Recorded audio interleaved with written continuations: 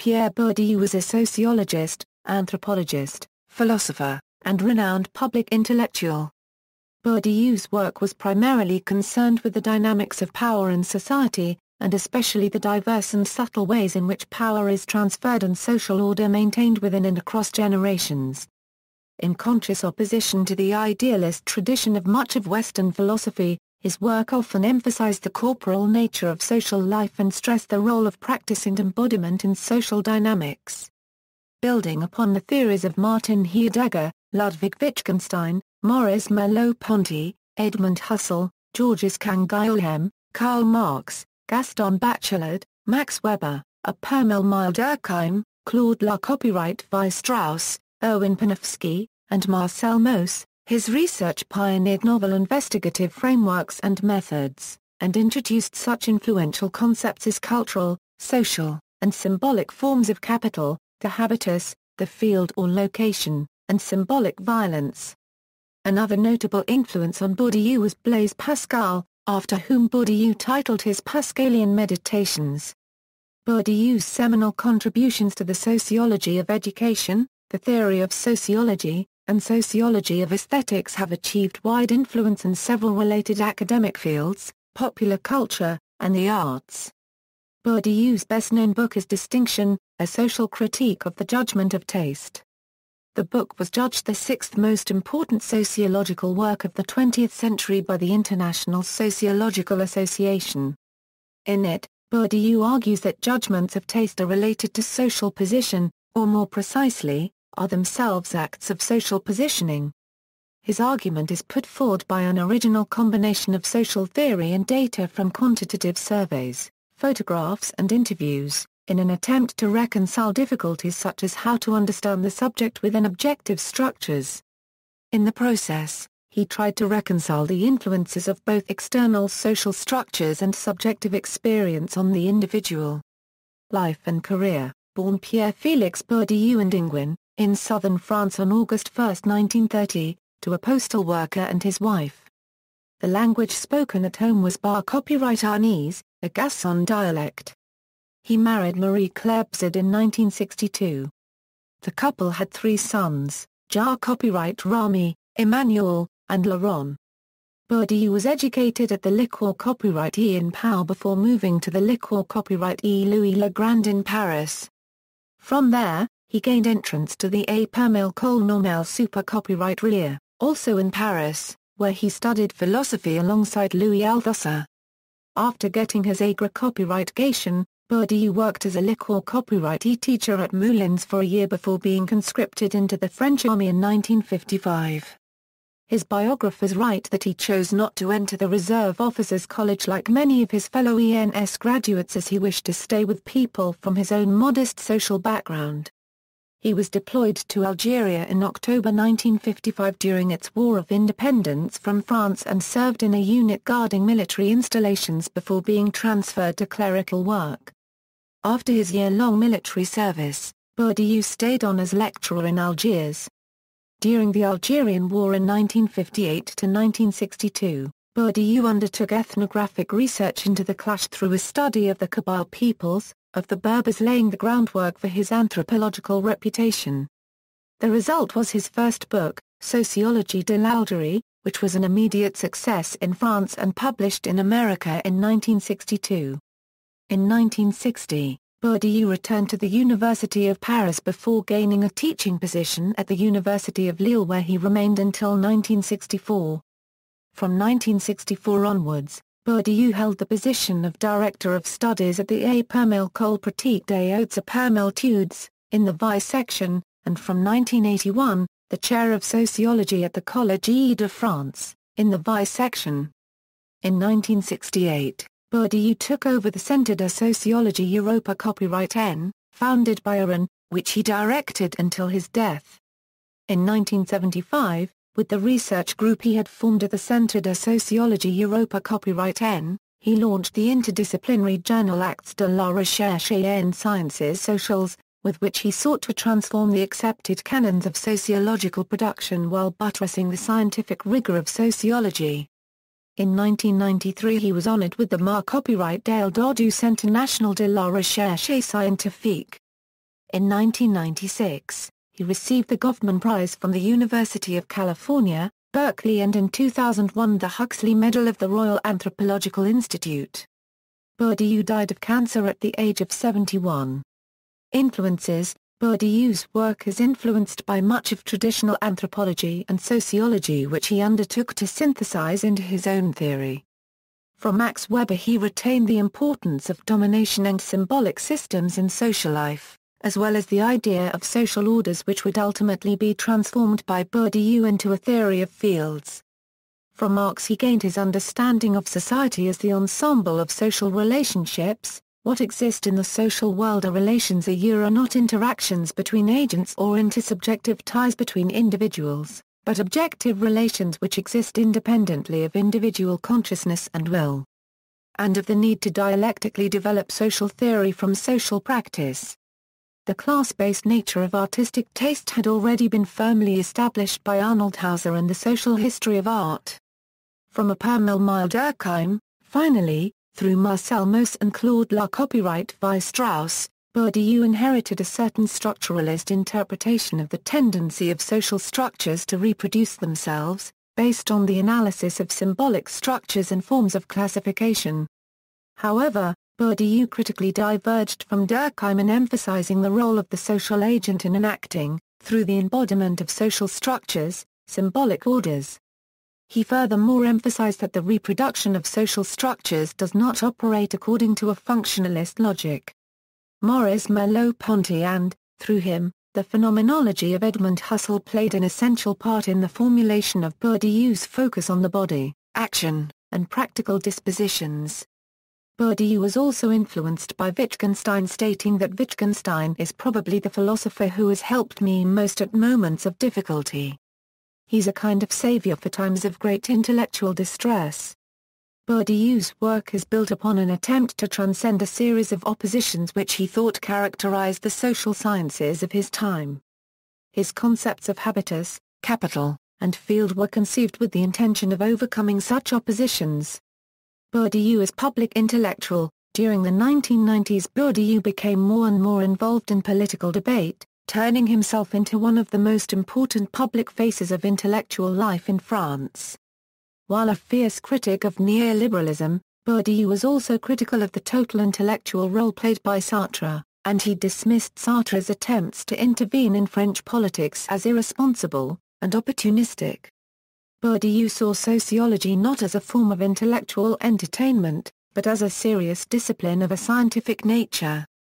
There is an apparent contradiction between Bourdieu's earlier writings against using sociology for political activism and his later launch into the role of a public intellectual, with some highly visible political statements. Although much of his early work stressed the importance of treating sociology as a strict scientific discipline, his later career saw him enter the less academic world of political debate in France, raising the issue of whether the sociologist has political responsibilities extending to the public domain. In 2004 Marxist sociologist Michael Burawoy's presidential address to the American Sociological Association called for a public sociology.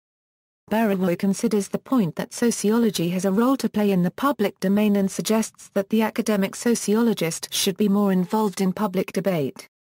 However, whereas Burawoy suggests that there are shared values among sociologists, it also limits the discipline. Burawoy argued that the early work of sociologists to change and interpret the world changed to a role of conserving it, as evidenced in Bourdieu's life. Although Bourdieu earlier faulted public intellectuals such as Sartre, he had strong political views which influenced his sociology from the beginning. By the time of his later work his main concern had become the effect of globalization and those who benefited least from it. His politics then became more overt and his role as public intellectual was born, from an urgency to speak out against neoliberal discourse that had become so dominant within political debate.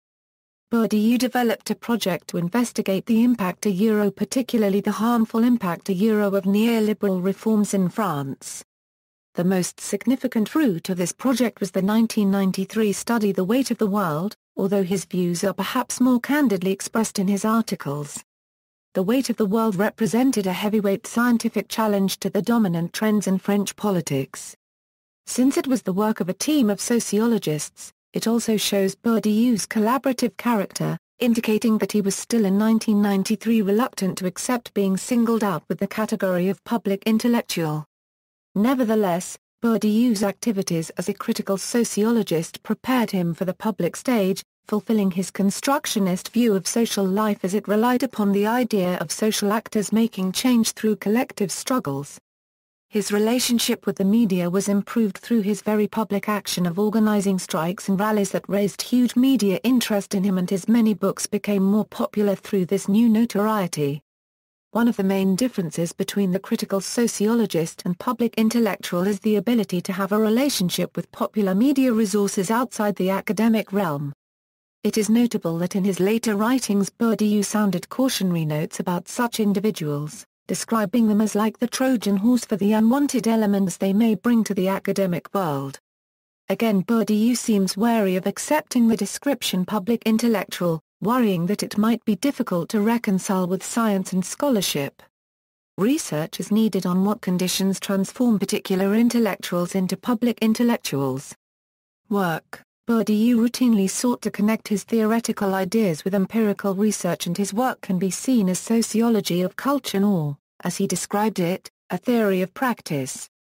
His contributions to sociology were both evidential and theoretical. His key terms were habitus, capital and field. He extended the idea of capital to categories such as social capital, cultural capital, financial capital, and symbolic capital. For Bourdieu each individual occupies a position in a multidimensional social space. He or she is not defined only by social class membership, but by every single kind of capital he or she can articulate through social relations. That capital includes the value of social networks, which Bourdieu showed could be used to produce or reproduce inequality. Ultimately, each relatively autonomous field of modern life, such as economy, politics, arts, journalism, bureaucracy, science or education engenders a specific complex of social relations where the agents will engage their everyday practice. Through this practice, they'll develop a certain disposition for social action that is conditioned by their position on the field. This disposition, combined with every other disposition the individual develops through his engagement on a multidimensional social world, will eventually tend to become a sense of the game, a partial understanding of the field and of social order in general, a practical sense, a practical reason, a way of division of the world, an opinion, a taste, a tone of voice, a group of typical body movements and mannerisms and so on. Through this, the social field may become more complex and autonomous, while the individual develops a certain habitus that is typical of his position in the social space. By doing so, social agents will often acknowledge, legitimate and reproduce the social forms of domination and the common opinions of each field as self-evident, clouding from conscience and practice even the acknowledgement of other possible means of production and power relations. Though not deterministic, the inculcation of the subjective structures of the habitus can be observed through statistical data, for example, while its selective affinity with the objective structures of the social world explains the continuity of the social order through time. As the individual habitus is always a mix of multiple engagements in the social world through the person's life, while the social fields are put into practice through the agency of the individuals, no social field or order can be completely stable. In other words, if the relation between individual predisposition and social structure is far stronger than common sense tends to believe, it is not a perfect match. Some examples of his empirical results include showing that despite the apparent freedom of choice in the arts, people's artistic preferences strongly tie in with their social position. And showing that subtleties of language such as accent, grammar, spelling and style are Euro all part of cultural capital Euro or a major factor in social mobility.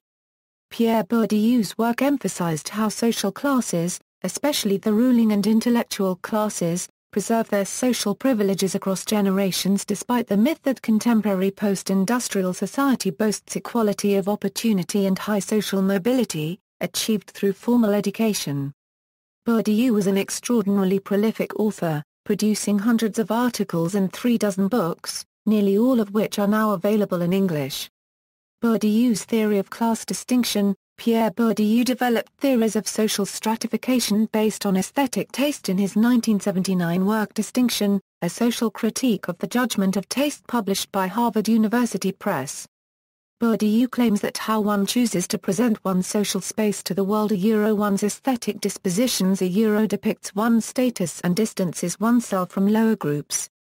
Specifically, Bourdieu hypothesizes that children internalize these dispositions at an early age and that such dispositions guide the young towards their appropriate social positions, towards the behaviors that are suitable for them, and foster an aversion towards other behaviors.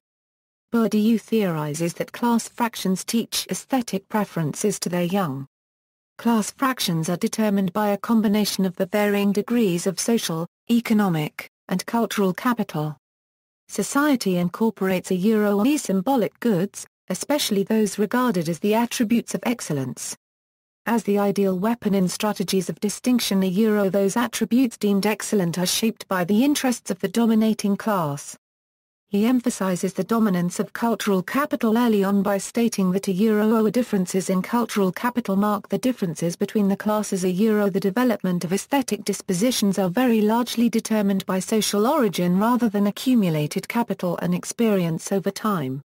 The acquisition of cultural capital depends heavily on a euro total, early, imperceptible learning, performed within the family from the earliest days of life a euro Bourdieu argues that, in the main, People inherit their cultural attitudes, the accepted a Euro-OE definitions that their elders offer them a Euro he asserts the primacy of social origin and cultural capital by claiming that social capital and economic capital, though acquired cumulatively over time, depend upon it.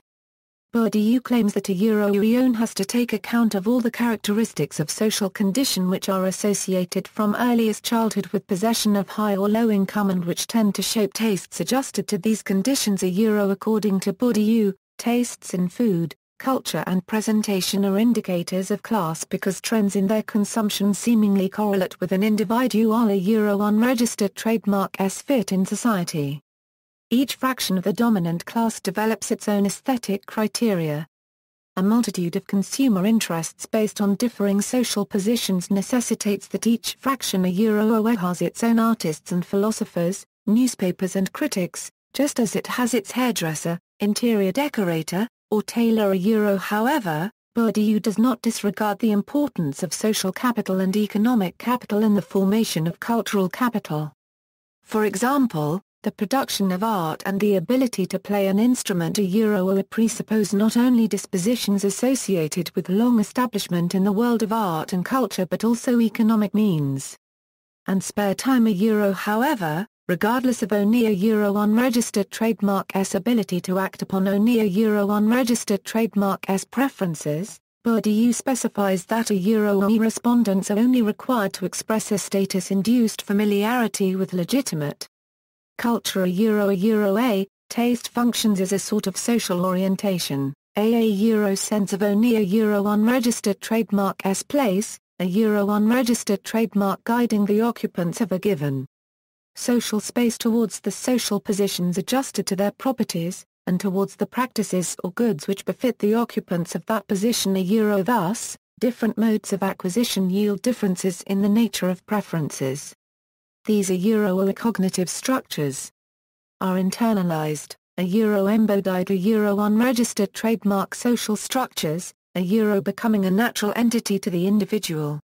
Different tastes are thus seen as unnatural and rejected, resulting in a Euro disgust provoked by horror or visceral intolerance of the tastes of others. A Euro Bourdieu himself believes class distinction and preferences are a Euro most marked in the ordinary choices of everyday existence, such as furniture, clothing, or cooking, which are particularly revealing of deep-rooted and long-standing dispositions because, lying outside the scope of the educational system, they have to be confronted, as it were, by naked taste a euro indeed, Bourdieu believes that a euro strongest and most indelible mark of infant learning a euro would probably be in the tastes of food.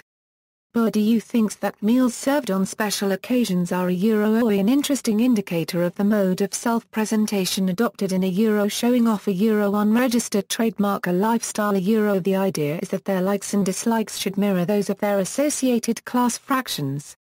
children from the lower end of the social hierarchy are predicted to choose a euro or heavy, fatty fattening foods, which are also cheaper euro in their dinner layouts, opting for a euro or plentiful and good a euro meals as opposed to foods that are a euro original and exotic a euro. These potential outcomes would reinforce Bourdieu a euro unregistered trademark SA euro ethic of sobriety for the sake of slimness, which is most recognized at the highest levels of the social hierarchy, a euro that contrasts the a euro e convivial indulgence euro characteristic of the lower classes. Demonstrations of the tastes of luxury and the tastes of necessity reveal a distinction among the social classes. The degree to which social origin affects these preferences surpasses both educational and economic capital. Demonstrably, at equivalent levels of educational capital, social origin remains an influential factor in determining these dispositions. How one describes ONIA Euro unregistered trademark S social environment relates closely to social origin because the instinctive narrative springs from early stages of development. Also, across the divisions of labor, a Euro economic constraints tend to relax without any fundamental change in the pattern of spending a Euro. This observation reinforces the idea that social origin, more than economic capital, produces aesthetic preferences because regardless of economic capability, consumption patterns remain stable. Bourdieu a Euro unregistered trademark S theory of power and practice, at the center of Bourdieu's sociological work is a logic of practice that emphasizes the importance of the body and practices within the social world. Against the intellectualist tradition, Bourdieu stressed that mechanisms of social domination and reproduction were primarily focused on bodily know-how and competent practices in the social world. Bourdieu fiercely opposed rational choice theory as grounded in a misunderstanding of how social agents operate. Social agents do not, according to Bourdieu, continuously calculate according to explicit rational and economic criteria. Rather, social agents operate according to an implicit practical logic a euro a practical sense euro, and bodily dispositions. Social agents act according to their feel for the game. Bourdieu a Euro unregistered trademark S anthropological work was dominated by an analysis of the mechanisms of reproduction of social hierarchies. In opposition to Marxist analyses, Bourdieu criticized the primacy given to the economic factors, and stressed that the capacity of social actors to actively impose and engage their cultural productions and symbolic systems plays an essential role in the reproduction of social structures of domination. What Bourdieu called symbolic violence is the self-interested capacity to ensure that the arbitrariness of the social order is either ignored, or posited as natural, thereby justifying the legitimacy of existing social structures. This concept plays an essential part in his sociological analysis. For Bourdieu, the modern social world is divided into what he calls fields. For him, the differentiation of social activities led to the constitution of various, relatively autonomous, social spaces in which competition centers around particular species of capital. These fields are treated on a hierarchical basis wherein the dynamics of fields arises out of the struggle of social actors trying to occupy the dominant positions within the field. Although Bourdieu embraces prime elements of conflict theory like Marx, he diverges from analyses that situate social struggle only within the fundamental economic antagonisms between social classes. The conflicts which take place in each social field have specific characteristics arising from those fields and that involve many social relationships which are not economic. Pierre Bourdieu developed a theory of the action, around the concept of habitus, which exerted a considerable influence in the social sciences. This theory seeks to show that social agents develop strategies which are adapted to the needs of the social worlds that they inhabit. These strategies are unconscious and act on the level of a bodily logic.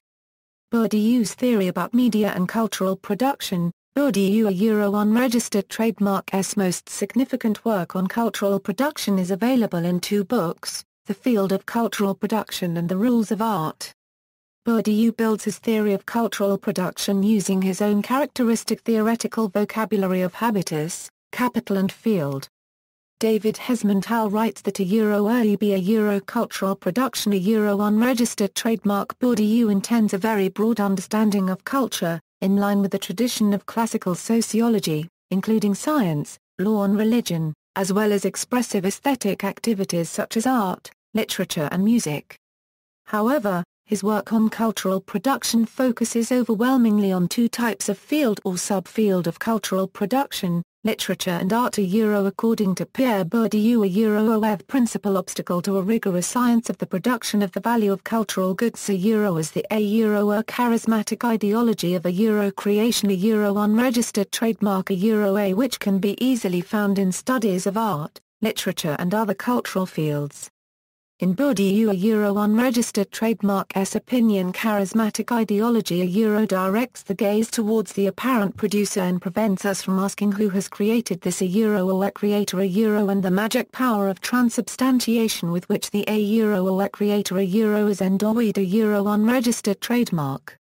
Bourdieu was not a proponent of revolutionary transformations in culture. According to him such moments are always dependent on the possibilities present in the positions inscribed in the field. Field and habitus, field, Bourdieu shared Weber's view that society cannot be analyzed simply in terms of economic classes and ideologies. Much of his work concerns the role of educational and cultural factors. Instead of analyzing societies solely in terms of classes, Bourdieu uses the concept of field, a structured social space with its own rules, schemes of domination, legitimate opinions and so on. Fields are relatively autonomous from the wider social structure, in which people relate and struggle through a complex of connected social relations. Among the main fields in modern societies, Bourdieu cited the arts, education, politics, law and economy. Other societies, like the Kabyle people, have not developed such autonomous fields, concentrating the social relations, rules, accumulation of capital and production of habitus to the larger social field. Habitus, Bourdieu's concept of habitus was inspired by Marcel Maussé's notion of body technique and hexis. The word itself can be found in the works of Norbert Elias, Max Weber, Edmund Husserl and Erwin Panofsky as reworkings of the concept as it emerged in Aristotle's notion of hexis. For Bourdieu, habitus was essential in resolving a prominent antinomy of the human sciences, objectivism and subjectivism. Habitus can be defined as a system of dispositions. The individual agent develops these dispositions in response to the objective conditions it encounters. In this way Bourdieu theorizes the inculcation of objective social structures into the subjective, mental experience of agents for the objective social field places requirements on its participants for membership, so to speak, within the field. Having thereby absorbed objective social structure into a personal set of cognitive and somatic dispositions, and the subjective structures of action of the agent then being commensurate with the objective structures and extant exigencies of the social field, a doxic relationship emerges. Habitus is somewhat reminiscent of pre-existing sociological concepts such as socialization, but habitus also differs from the more classic concepts in several important ways. Firstly, a central aspect of the habitus is its embodiment, habitus does not only, or even primarily, function at the level of explicit, discursive consciousness. The internal structures become embodied and work in a deeper, practical and often pre-reflexive way. An illustrative example might be the muscle memory cultivated in many areas of physical education. In this sense, the concept has something in common with Anthony Giddens's concept of practical consciousness. Habitus and doxa Doxa refers to the learned, fundamental, deep-founded, unconscious beliefs, and values, taken as self-evident universals, that inform an agent's actions and thoughts within a particular field. Doxa tends to favor the particular social arrangement of the field, thus privileging the dominant and taking their position of dominance as self-evident and universally favorable. Therefore, the categories of understanding and perception that constitute a habitus, being congruous with the objective organization of the field, tend to reproduce the very structures of the field. A doxic situation may be thought of as a situation characterized by a harmony between the objective, external structures and the subjective, internal structures of the habitus. In the doxic state, the social world is perceived as natural, taken for granted and even commonsensical. Bourdieu thus sees habitus as an important factor contributing to social reproduction because it is central to generating and regulating the practices that make up social life. Individuals learn to want what conditions make possible for them, and not to aspire to what is not available to them. The conditions in which the individual lives generate dispositions compatible with these conditions, and in a sense pre-adapted to their demands. The most improbable practices are therefore excluded, as unthinkable, by a kind of immediate submission to order that inclines agents to make a virtue of necessity, that is, to refuse what is categorically denied and to will the inevitable.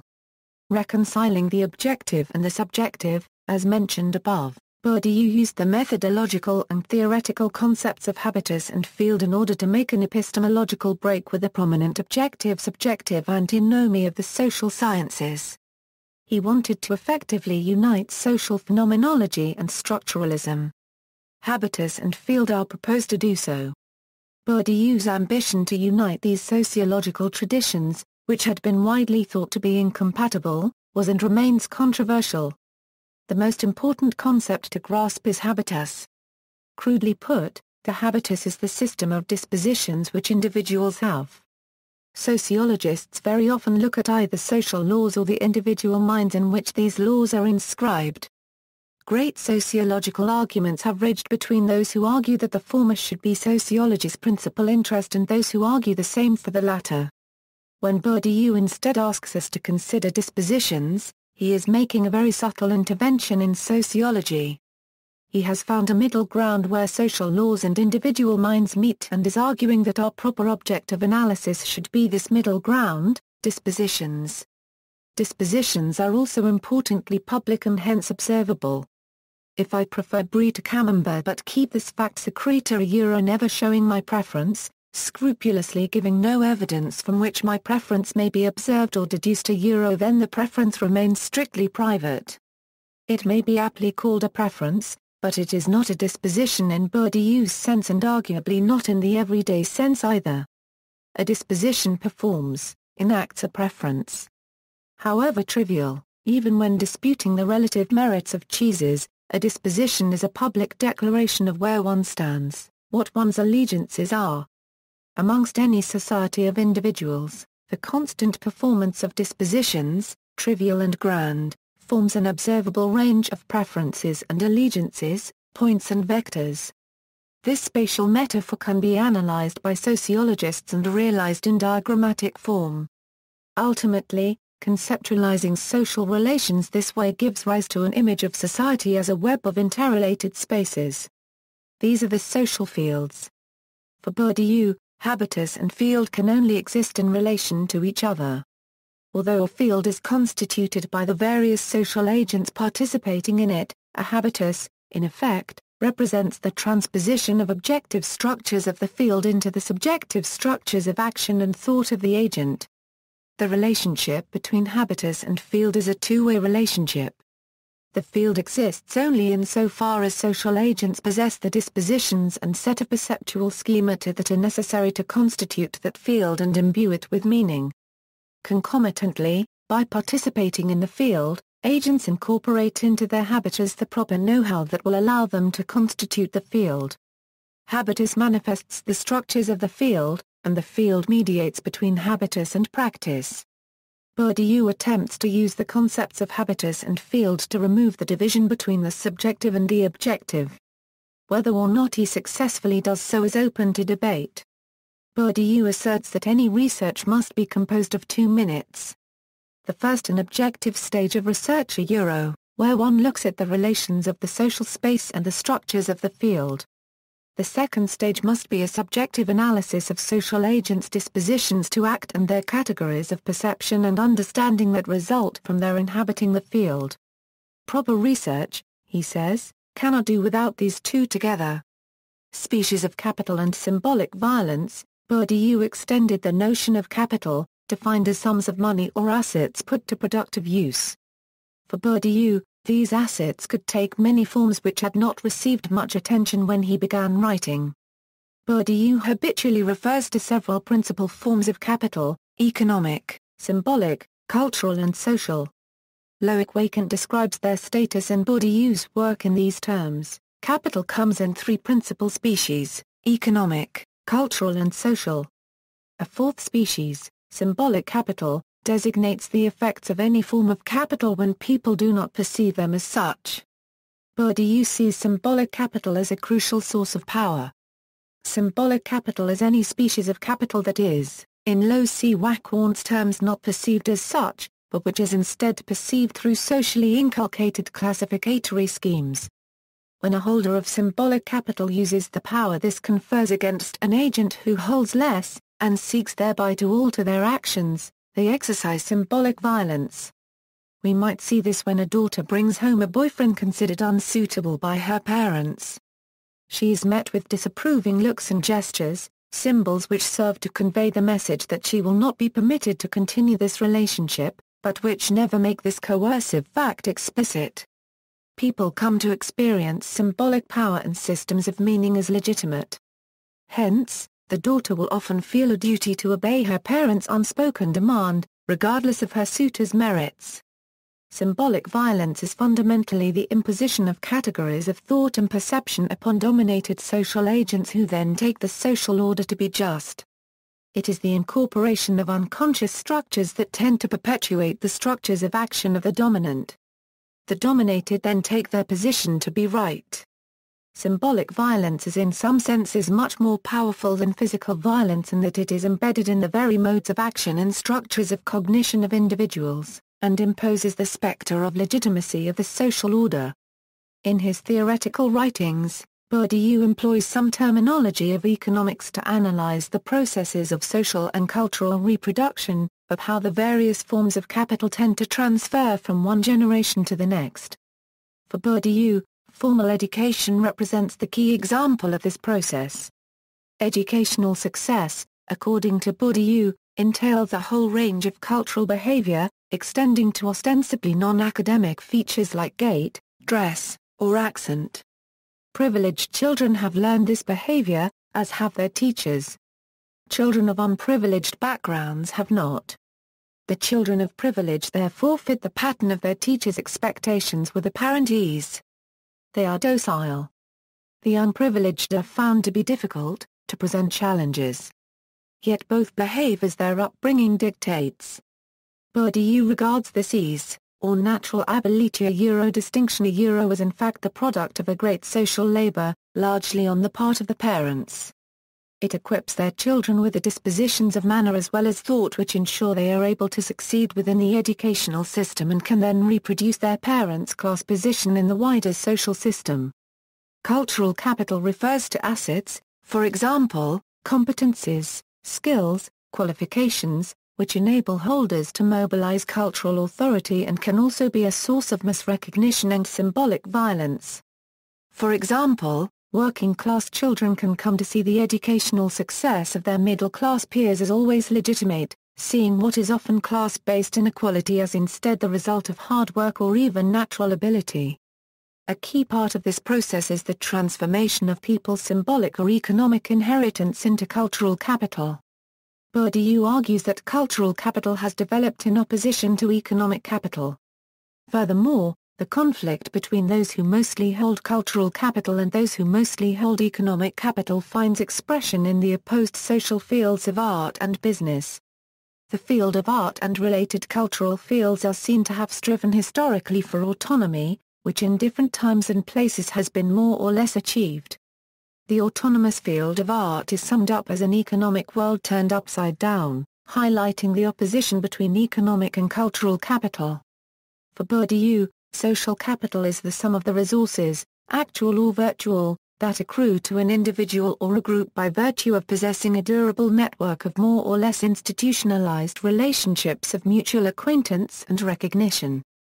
Reflexivity Bourdieu insists on the importance of a reflexive sociology in which sociologists must at all times conduct their research with conscious attention to the effects of their own position, their own set of internalized structures, and how these are likely to distort or prejudice their objectivity. The sociologist, according to Bourdieu, must engage in a sociology of sociology so as not to unwittingly attribute to the object of observation the characteristics of the subject. she he ought to conduct their research with one eye continually reflecting back upon their own habitus, their dispositions learnt through long social and institutional training. It is only by maintaining such a continual vigilance that the sociologists can spot themselves in the act of importing their own biases into their work. Reflexivity is, therefore, a kind of additional stage in the scientific epistemology. It is not enough for the scientist to go through the usual stages. Bourdieu recommends also that the scientist purge their work of the prejudices likely to derive from their social position. In a good illustration of the process, Bourdieu chastises academics for judging their students' work against a rigidly scholastic linguistic register, favoring students whose writing appears polished, marking down those guilty of vulgarity. Without a reflexive analysis of the snobbery being deployed under the cover of those subjective terms, the academic will unconsciously reproduce a degree of class prejudice, promoting the student with high linguistic capital and holding back the student who lacks it a euro not because of the objective quality of the work but simply because of the register in which it is written. Reflexivity should enable the academic to be conscious of their prejudices, for example for apparently sophisticated writing, and impel them to take steps to correct for this bias. Bourdieu also describes how the scholastic point of view unconsciously alters how scientists approach their objects of study. Because of the systematicity of their training and their mode of analysis, they tend to exaggerate the systematicity of the things they study. This inclines them to see agents following clear rules where in fact they use less determinate strategies. It makes it hard to theorize the fuzzy logic of the social world, its practical and therefore mutable nature, poorly described by words like system, structure and logic which imply mechanisms, rigidity and omnipresence. The scholar can too easily find themselves mistaking the things of logic for the logic of things a euro a phrase of Marx's which Bourdieu is fond of quoting. Again, reflexivity is recommended as the key to discovering and correcting for such errors which would otherwise remain unseen, mistakes produced by an over-application of the virtues that produced also the truths within which the errors are embedded. Science and objectivity, Bourdieu contended there is transcendental objectivity, only when certain necessary historical conditions are met. The scientific field is precisely that field in which objectivity may be acquired. Bourdieu's ideal scientific field is one that grants its participants an interest or investment in objectivity. Further, this ideal scientific field is one in which the field's degree of autonomy advances and, in a corresponding process, its entrance fee becomes increasingly strict. The scientific field entails rigorous intersubjective scrutinizing of theory and data. This should make it difficult for those within the field to bring in, for example, political influence. However, the autonomy of the scientific field cannot be taken for granted. An important part of Bourdieu's theory is that the historical development of a scientific field, sufficiently autonomous to be described as such and to produce objective work, is an achievement that requires continual reproduction. Having been achieved, it cannot be assumed to be secure. Bourdieu does not preclude the possibility that the scientific field may lose its autonomy and therefore deteriorate losing its defining characteristic as a producer of objective work. In this way, the conditions of possibility for the production of transcendental objectivity could arise and then disappear. Language Bourdieu takes language to be not merely a method of communication, but also a mechanism of power. The language one uses is designated by one's relational position in a field or social space different uses of language tend to reiterate the respective positions of each participant. Linguistic interactions are manifestations of the participants' respective positions in social space and categories of understanding, and thus tend to reproduce the objective structures of the social field. This determines who has a right to be listened to, to interrupt, to ask questions, and to lecture, and to what degree. The representation of identity in forms of language can be subdivided into language, dialect, and accent. For example, the use of different dialects in an area can represent a varied social status for individuals. A good example of this would be in the case of French. Until the French Revolution, the difference of dialects usage directly reflected one's social status. Peasants and lower class members spoke local dialects, while only nobles and higher class members were fluent with the official French language. Accents can reflect an area's inner conflict with classifications and authority within a population.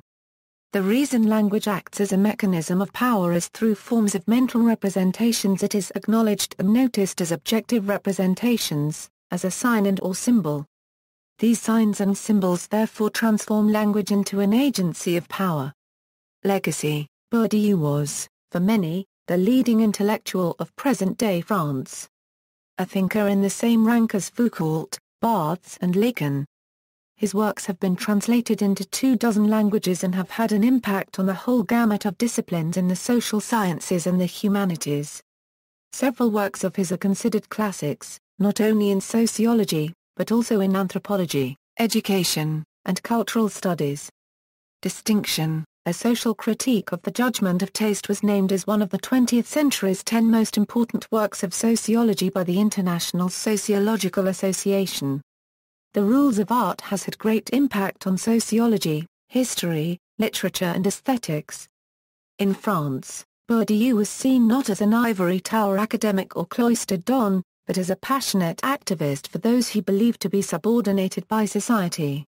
In 2001, a documentary film about Bourdieu a Euro sociology as a martial art a Euro became an unexpected hit in Paris. Its very title stressed how much of a politically engaged intellectual Bourdieu was, taking on the mantle of a Émile Zola and Jean-Paul Sartre in French public life and slugging it out with politicians because he thought that was what people like him should do. For Bourdieu, sociology was a combative effort, exposing the unthought structures beneath the physical and thought practices of social agents. He saw sociology as a means of confronting symbolic violence and exposing those unseen areas where one could be free. Bourdieu's work continues to be influential. His work is widely cited, and many sociologists and other social scientists work explicitly in a Bourdieusian framework. One example is Loic Wacquant who persistently applies the Bourdieusian theoretical and methodological principles to subjects such as boxing, employing what Bourdieu termed participant objectivation, or what Wacquant calls carnal sociology. In addition to publishing a book on Bourdieu's lasting influence, novelist Permil Louis uses the legacy of Pierre Bourdieu as a literary device. Bourdieu also played a crucial role in the popularization of correspondence analysis and particularly multiple correspondence analysis. Bourdieu held that these geometric techniques of data analysis are, like his sociology, inherently relational.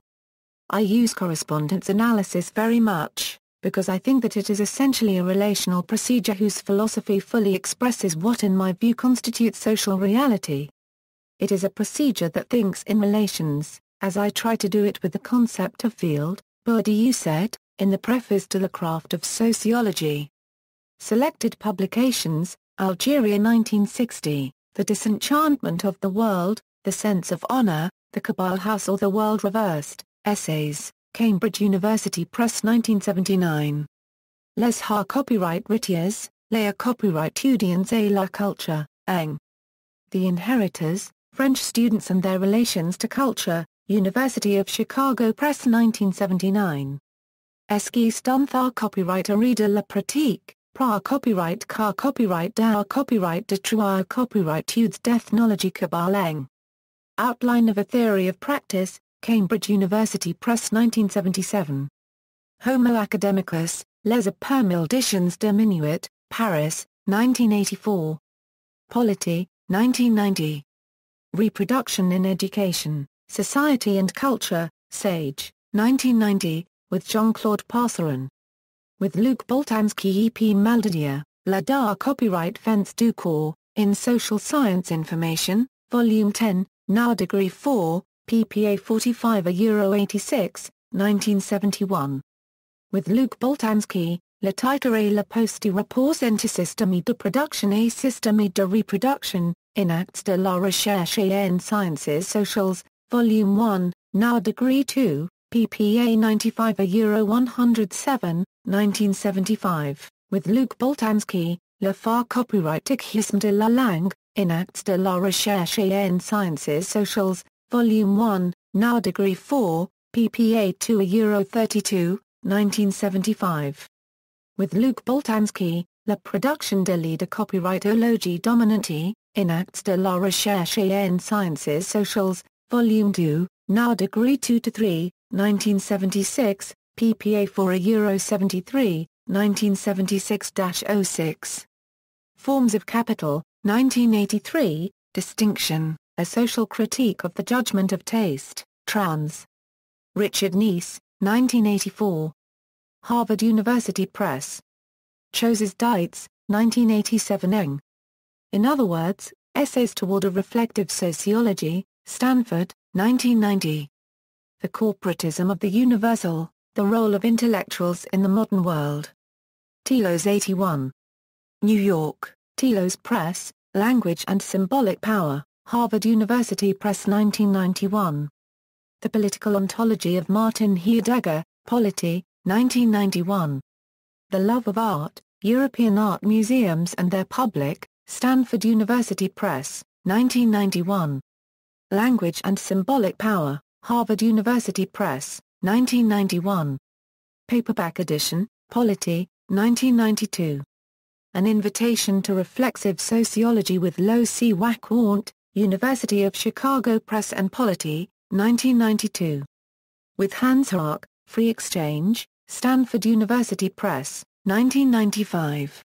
With Luc Boltanski and Robert Castel, Photography, A Middlebrow Art, Stanford University Press, 1996, ISBN 9780804726894.